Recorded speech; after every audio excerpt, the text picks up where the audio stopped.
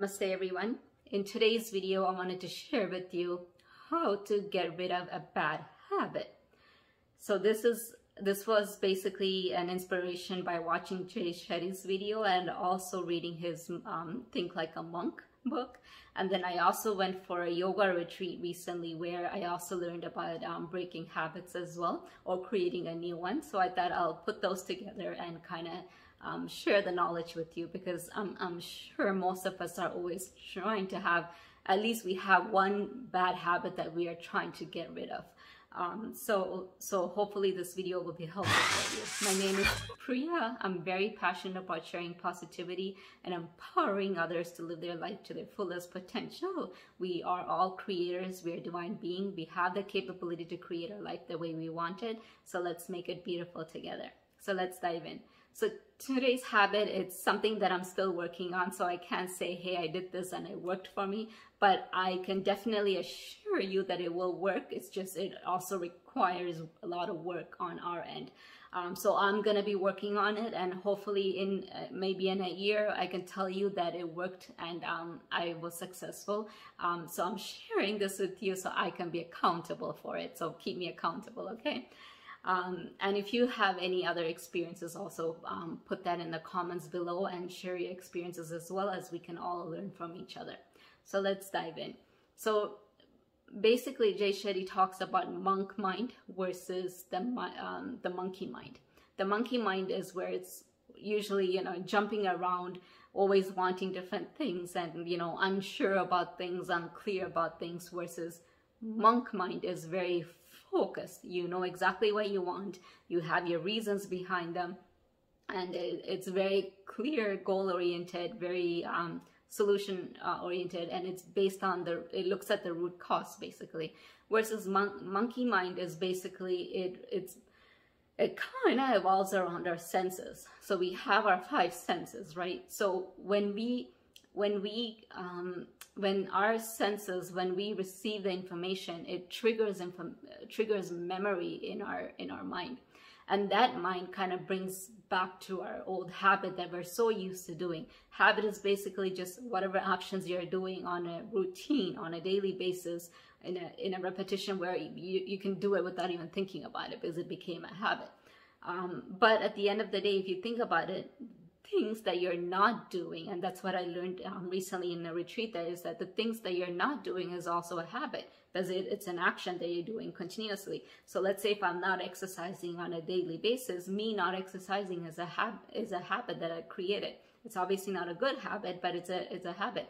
It's also me not um, resisting um, sweets when it comes in front of me is a habit because every time i see it i want it and what happens is that our monkey minds gets in because as soon as I see it or smell it or even think about it, whatever senses I'm using, um, when it triggers a good memory, um, it makes you do that habit that you're, you know, you that you do.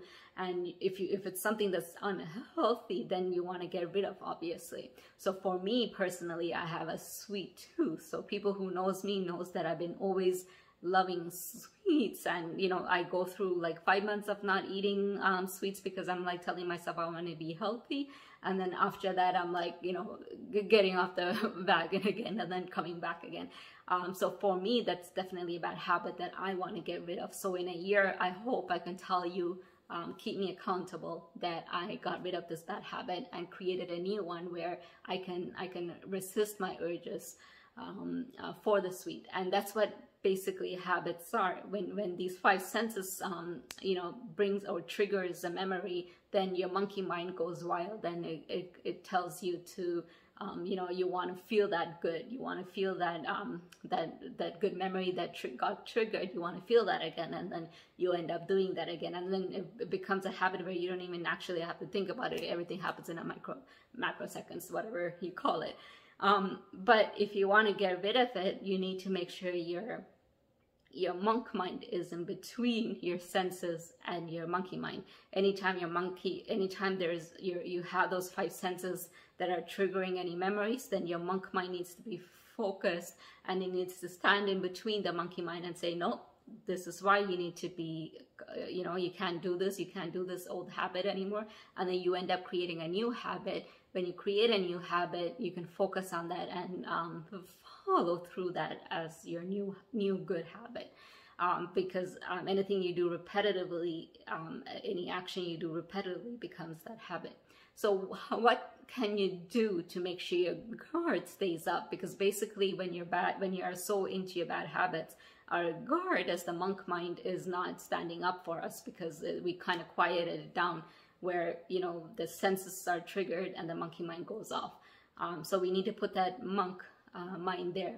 And Jay Shetty basically said there are five R's that you can follow to make sure that monk mind stands up and um, protects us. And, and therefore you can kind of protects us and stands in between the monkey mind versus the, um, between the monkey mind and the five senses. So what the five R's I wanted to talk about, the first one he mentioned is reason. You need to have a good, deep reason why the why behind the change that you need. So if you want to create a good habit of um, going to the gym every day or exercising every day, or you want to start eating healthy, whatever the habit is, you need to know the exact reason why. And it has to be very meaningful to you. It shouldn't be something negative like revenge because um, that's not going to take you anywhere good.